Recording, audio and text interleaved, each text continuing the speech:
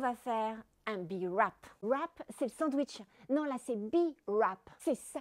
Zéro déchet, éco-responsable et super utile. Faut quoi?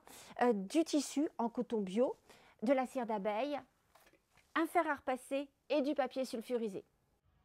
Vous prenez donc du papier sulfurisé, vous l'étalez sur une table. Ensuite, vous prenez votre tissu en coton bio, vous l'étalez et vous versez les perles de cire d'abeille dessus. Vous remettez du papier sulfurisé dessus et vous faites fondre la cire d'abeille avec votre fer à repasser, même dans les coins de votre tissu. Vous enlevez ensuite le papier sulfurisé. Votre tissu va sécher, va devenir caoutchouteux. Vous pourrez ainsi envelopper vos sandwichs quand vous partez en pique-nique ou recouvrir par exemple vos saladiers quand vous faites des salades. Remplace le film plastique. Et c'est moi qui l'ai fait. Abonnez-vous si vous voulez plus d'astuces.